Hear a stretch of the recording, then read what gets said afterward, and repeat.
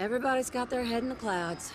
Dreaming City, Hive Worm God, Warmind. It's easy to forget about the lives of regular people, even for... well, for heroes like you. Remember the Cryptarch in the Reef? I do. His name was Ives. Yeah, that's right. Was. He's dead. And not like all the other Awoken who died in the Reef. Petra says he was murdered. Sent me all his stuff. She's got her own problems out on the shore, so this is up to us. Cayde taught me a lot of nonsense.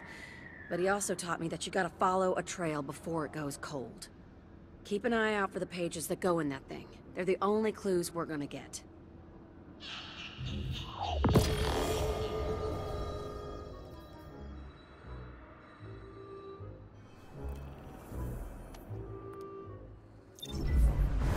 Need something new? Eververse has it. For packages.